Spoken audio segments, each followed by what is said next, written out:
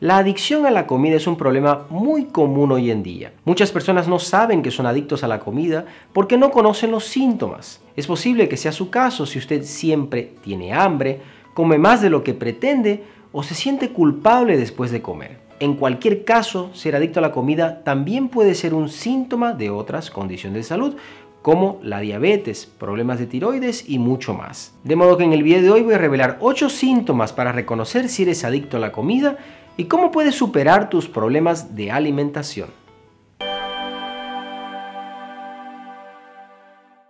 Un cordial saludo a todos, es el doctor Agustín Landívar, naturópata, acupunturista, médico convencional y fundador de doctorlandívar.com.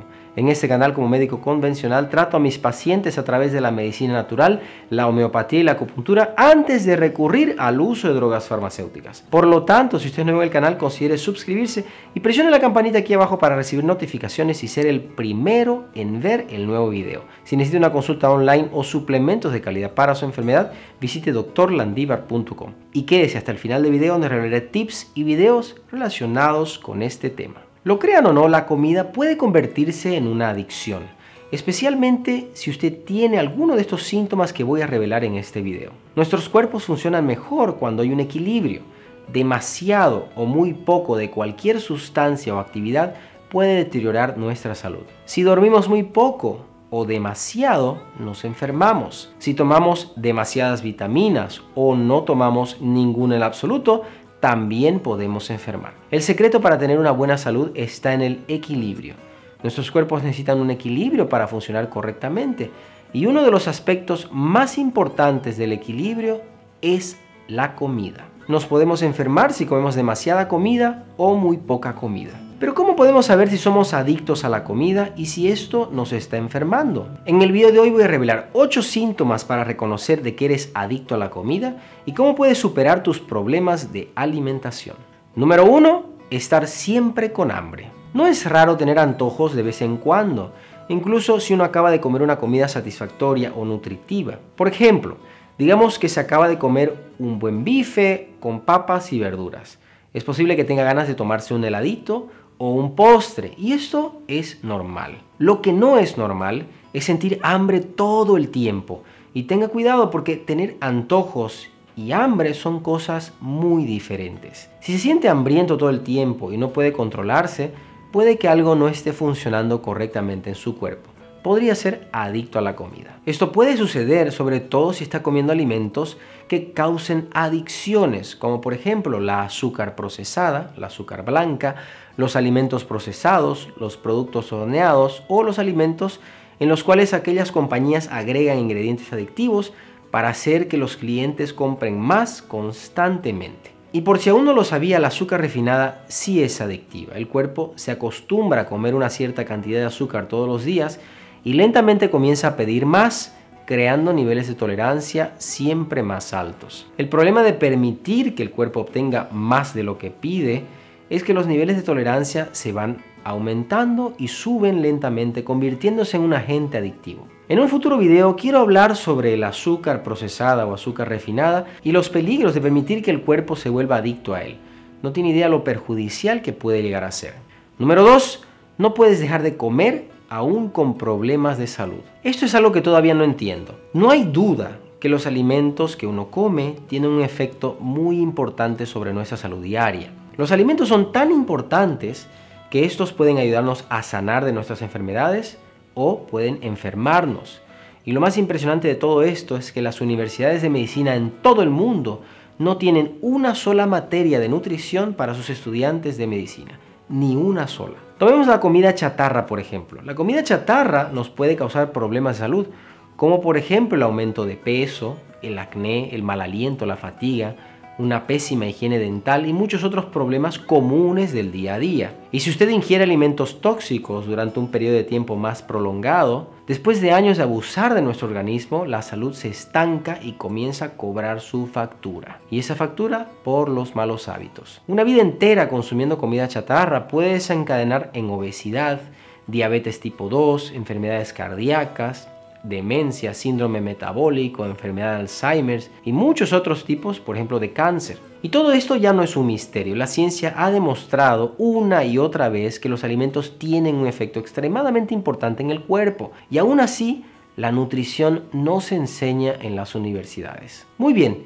pero ¿qué tiene que ver todo esto con ser adicto a los alimentos? Bueno, si usted está sufriendo de condiciones de salud como por ejemplo la obesidad, diabetes o alguna enfermedad cardíaca, por decir algo, debería poder encontrar una fuerza de voluntad para cambiar su dieta y tratar su enfermedad. Y si no lo está logrando, cambiar su estilo de vida o lo que dice respecto a su dieta, es muy probable que usted sea adicto a la comida. El problema de volverse adicto a la comida es que estas personas, sobre todo las personas que sufren de alguna condición de salud, no tienen la fuerza de voluntad para hacer un cambio de vida.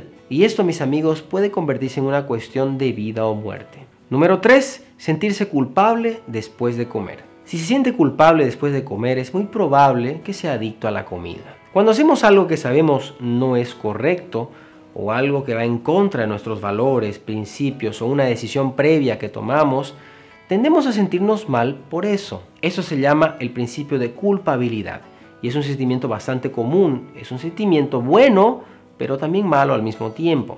Es bueno porque significa que realmente nos importa.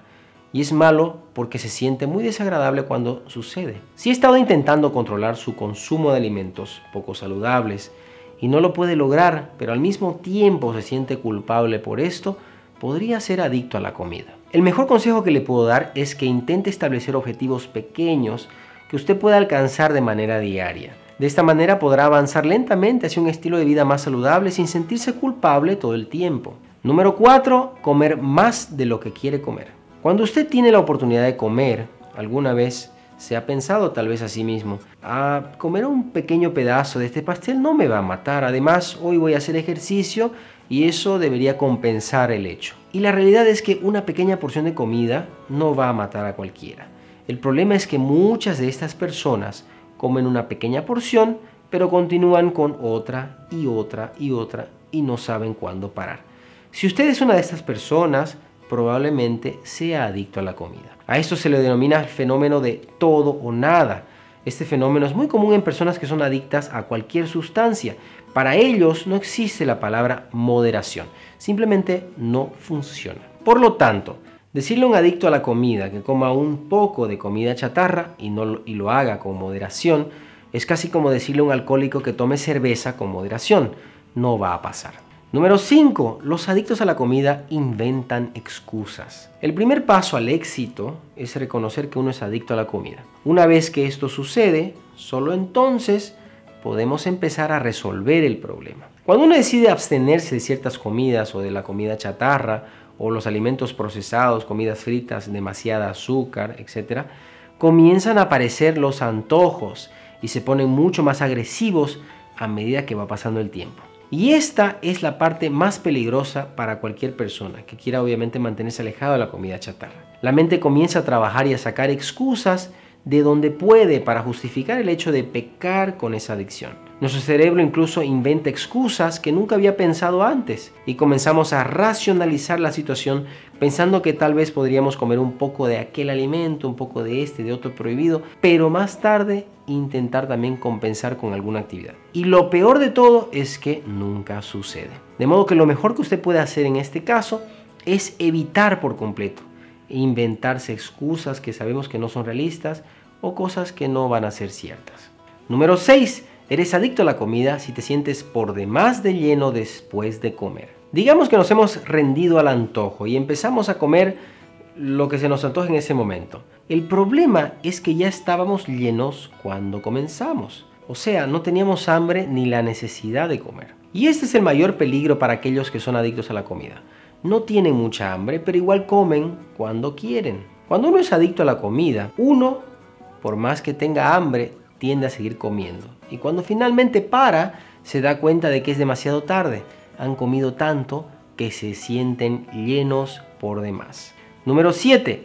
Ocultarse los demás para comer. Las personas que tienen la costumbre de establecer reglas y fracasan repetidamente en esas reglas, comienzan a esconderse el consumo de comida de los demás. Es posible que esas personas prefieran comer solas cuando nadie más está en casa solos en el auto o por la tarde o noche después de que todos se hayan ido a la cama, etc. Si usted es una de estas personas que constantemente establece metas o reglas y no las puede cumplir y se está escondiendo de los demás para disfrutar de una comida chatarra, cuidado, porque podría ser adicto a la comida. Número 8. Repetidas fallas para alcanzar su objetivo. Si ha estado intentando superar alguna adicción y lo viene haciendo por un buen tiempo sin éxito, llega un momento en que fallar repetidamente comienza a pasar su factura. Las personas que repetidamente no logran sus objetivos comienzan a cansarse de intentarlo. Y esto es lo peor que puede pasar. Si usted es una de estas personas que ha intentado dejar la adicción a la comida sin éxito, mi mejor consejo para usted es que lo siga intentando, no se rinda. Si se cae, uno se levanta. Si por desgracia usted se rinde, las cosas se pondrán mucho peores y su adicción empeorará. Pero si continúa intentando, su voluntad cada vez se vuelve un poco más fuerte y en algún momento podría llegar a dejar su adicción. Lo más importante es que lo siga intentando. Y no se olviden de ir al canal, darle un like a este video y compartiéndolo con sus amigos y familiares para que estén enterados del tema. Si tiene alguna pregunta o duda, deje su comentario aquí abajo que responderé con gusto. Si necesita una consulta online o suplementos de calidad para su enfermedad, visite doctorlandivar.com. Y aquí le dejo estos otros videos relacionados con el tema. Encontrará información valiosa que puede ayudar a prevenir una enfermedad grave en el futuro. Gracias por asistir y nos vemos pronto.